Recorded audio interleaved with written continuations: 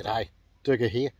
I'm just about to put a few finishing touches on a couple of sections of the yard. It's also Buddy's birthday today, so what a great time to take you for a bit of a look around our digs. Happy birthday, mate.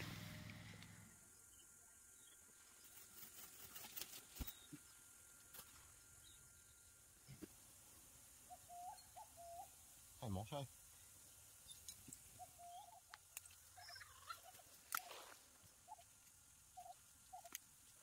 Time to do a sprinkler run.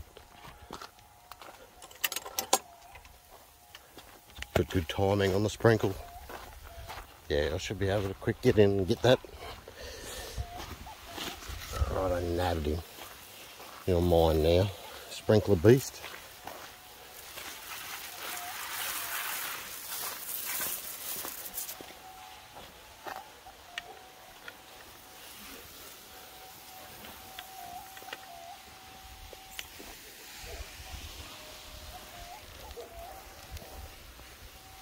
We'll throw him down here.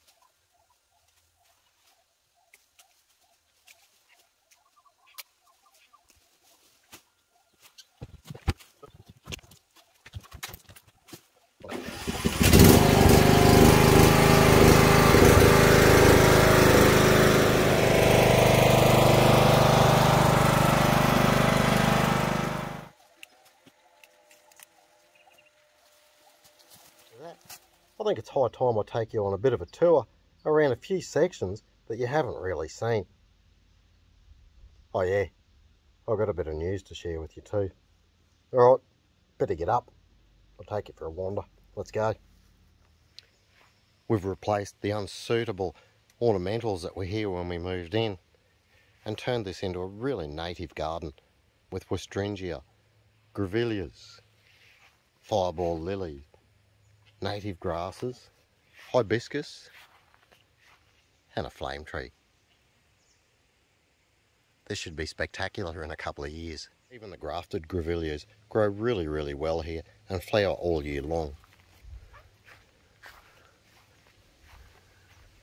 This pink version is one of my absolute favourites in the yard and quite spectacular when it's in full flower. The birds seem to love it. This little hedge here is a yesterday, today, tomorrow. After rain, it flowers in beautiful blue flowers that turn white over a course of a few days. But the smell and aroma that comes from this plant fills the neighbourhood with a really, really strong and beautiful perfume. This desert rose that I've got is a beautiful specimen and in the ideal sunny position. It's thriving here and just has these masses of beautiful flowers all year round.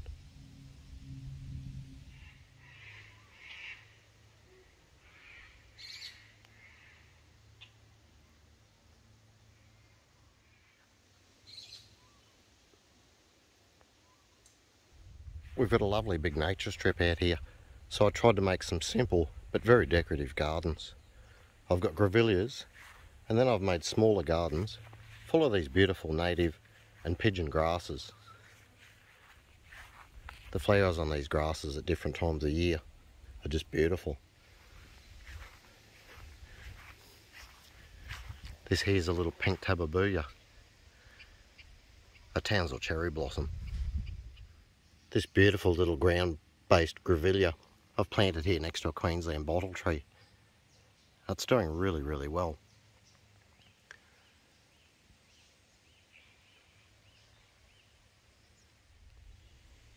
So it's about time I let you know. One of the big changes that I've been hinting at for a while has finally come around. And it's also one of the saddest things that I've had to do in 10 years of living here. As of right now, Dooga's Digs, my garden, is up for sale.